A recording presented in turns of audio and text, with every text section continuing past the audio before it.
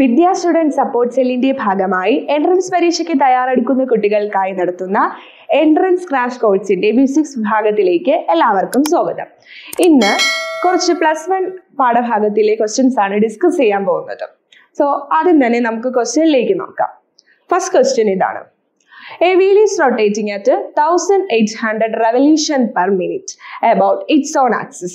When the power is switched off, it comes to rest in 2 minutes. Then the angular retardation in rad per second is. So the given options are 2 pi, pi, pi by 2 and pi by 4. അപ്പോൾ questions കുറച്ച് വിശദമായി നോക്കാം. അതായത് ആവശ്യമുള്ള points ആണ് ഞാൻ ഇവിടെ underline ചെയ്തിരിക്കുന്നത്. സോ നമ്പർ ഓഫ് റെവല്യൂഷൻ നമുക്ക് തന്നിട്ടുണ്ട്. പിന്നെ രണ്ട് മിനിറ്റ് കഴിയുമ്പോൾ അത് റെസ്റ്റിലാകുമെന്നും പറഞ്ഞിട്ടുണ്ട്. നമുക്ക് കണ്ടുപിടിക്കേണ്ടത് എന്താണ്?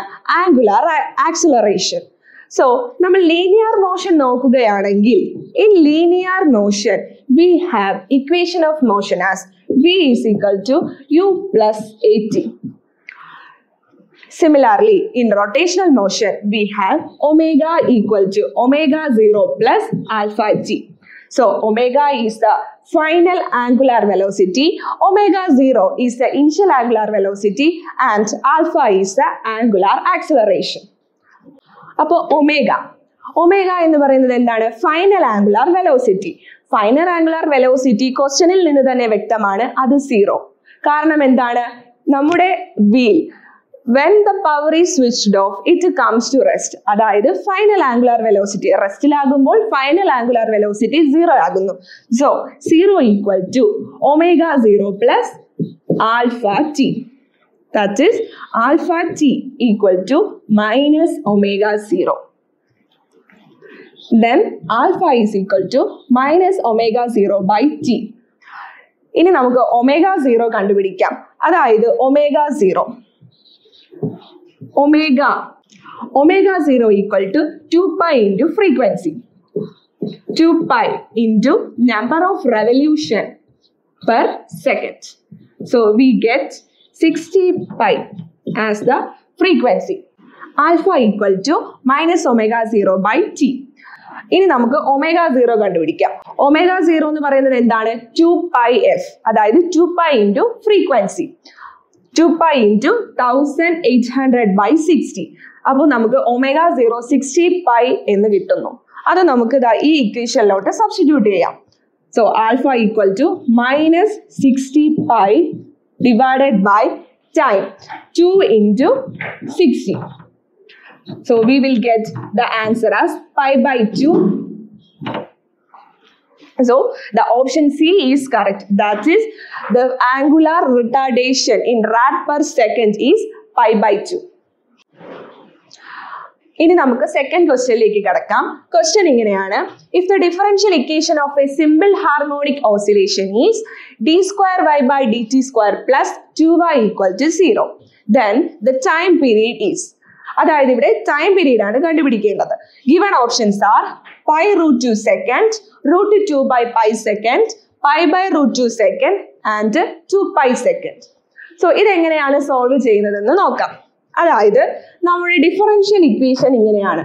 D square Y by D T square plus two Y equal to zero ഇത് നമ്മുടെ സിമ്പിൾ ഹാർമോണിക് മോഷന്റെ ജനറൽ ഇക്വേഷനുമായി നമുക്ക് കമ്പയർ ചെയ്യാം.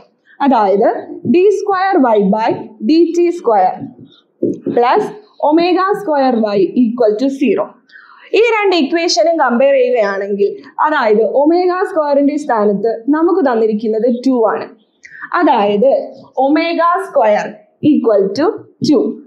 Omega equal to root two. Omega എന്താണ്? Two pi by T. അതായത് two pi by T equal to root two. When we rearrange this we get T as root two by two pi. That is T equal to pi by root 2 second.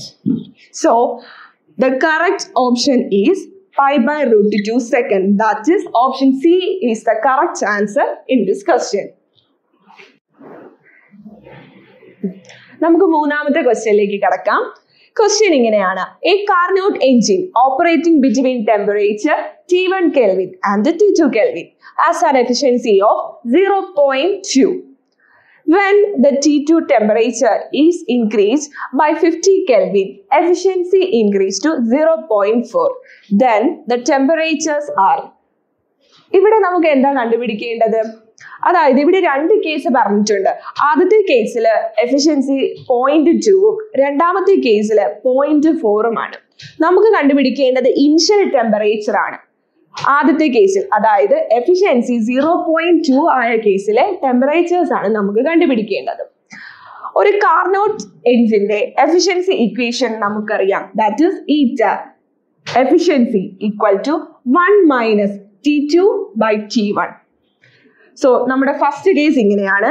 Zero point two equal to one minus T two by T one so cross multiplying T one minus T two by T one In second case, T2 will become T2 minus 50 Kelvin. So നമ്മുടെ equation എങ്ങനെ മാറും? രണ്ടാമത്തെ കേസിൽ നമ്മുടെ efficiency മാറി. Temperature മാറിയപ്പോൾ നമുക്ക് ഇവിടെ എഫിഷ്യൻസി മാറി. അതായത് zero point four equal to T one minus നമ്മളുടെ ഇപ്പോഴത്തെ ടി ടു മാറി. T two minus fifty K ആയിരിക്കുകയാണ്. സോ ഇവിടെ ടി ടുവിന്റെ സ്ഥാനത്ത് നമ്മൾ T two minus fifty substitute ചെയ്യുന്നു. That is 0.4 equal to T1 minus T2 minus 50, the whole divided by T1. So 0.4 equal to T1 minus T2. Here brackets opening. That is 0.4 equal to T2 minus T2 plus 50, the whole divided by T1. Here, this equation നമുക്ക് രണ്ട് പാർട്ടായിട്ട് ഈ ഇക്വേഷനെ രണ്ട് പാർട്ടായിട്ട് split ചെയ്യുന്നതാണ്. അതായത് zero point four is equal to this is the first part and this is the second part zero point four equal to T one minus T two by T one plus fifty by T one നമുക്ക് ഈ part നേരത്തെ കണ്ടുപിടിച്ച് വെച്ചിട്ടുണ്ട്. അതായത് point two എന്ന് പറയുന്നത് T one minus T two by T one ആണ്. അപ്പോൾ അതിന്റെ സ്ഥാനത്ത് നമ്മൾക്ക് ഇവിടെയുള്ള വാല്യൂ അതായത് ഫസ്റ്റ് കേസിലെ വാല്യൂ സബ്സ്റ്റിറ്റ്യൂട്ട് ചെയ്യാം. Four equal to zero point two plus fifty by T one so we get when we solving this equation നമുക്ക് T one equal to two fifty kelvin എന്ന് കിട്ടുന്നു. ഈ T one equal to two fifty kelvin എന്നത് ഈ equation one അതായത് first കേസിലെ ഇക്വേഷനിലോട്ട് നമുക്ക് substitute ചെയ്ത് കൊടുക്കാം. അങ്ങനെ അത് സബ്സ്റ്റിറ്റ്യൂട്ട് ചെയ്ത് സോൾവ് ചെയ്യുമ്പോൾ T two equal to two hundred kelvin എന്ന് കിട്ടുന്നു. അപ്പോൾ നമുക്ക് ടി വണ്ണും കിട്ടി ടി ടുവും കിട്ടി. അതായത് T one equal to two fifty degree two fifty kelvin and T two equal to two hundred kelvin that is our D is the correct option here